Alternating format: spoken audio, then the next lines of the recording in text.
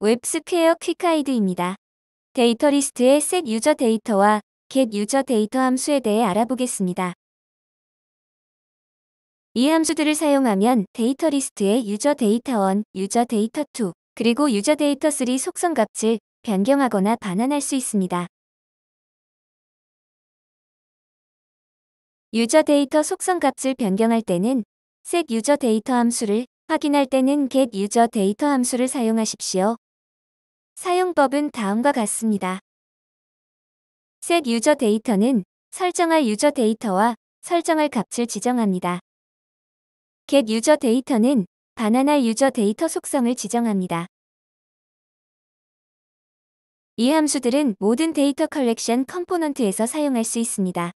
alias data list, alias data map, alias linked data list, data map, 그리고 linked data list에서 모두 사용 가능합니다.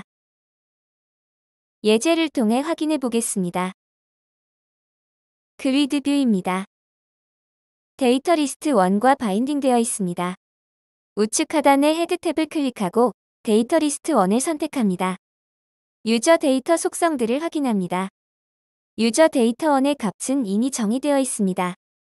추가로 user data 2를 1, 2, 3, 4, 5로 정의합니다.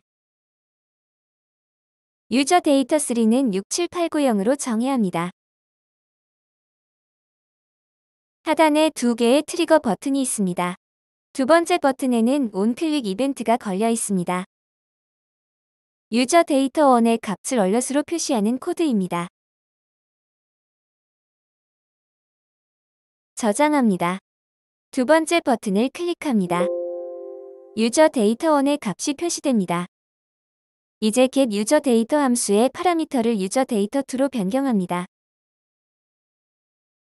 저장합니다. user data 2의 값은 1, 2, 3, 4, 5입니다. 페이지를 다시 로딩하고 버튼을 클릭하면 1, 2, 3, 4, 5가 표시됩니다. user data 3의 값은 67890입니다. user data 3로 파라미터를 변경하고 저장합니다. 페이지를 재로딩하고 버튼을 클릭하면 67890이 alert으로 표시됩니다. 첫 번째 trigger 버튼에도 onclick 이벤트가 걸려 있습니다. user data 1 값을 this is user data 1으로 변경하는 코드입니다. 두 번째 버튼은 현재의 user data 1 값을 출력합니다. 저장 후 페이지를 재로딩하여 현재 값을 확인합니다. 첫 번째 버튼을 클릭하여 값을 변경하고 다시 두 번째 버튼을 클릭하면 새로 변경한 값이 표시됩니다. 동일한 방법으로 user data 3를 변경해 보겠습니다. 저장 후 두 번째 버튼을 클릭하면 현재 값인 67890이 표시됩니다. 첫 번째 버튼을 클릭하여 값을 변경한 후 두 번째 버튼을 클릭하면 새로 변경한 값이 출력됩니다. 웹스퀘어 Quick Guide를 시청해주셔서 감사합니다.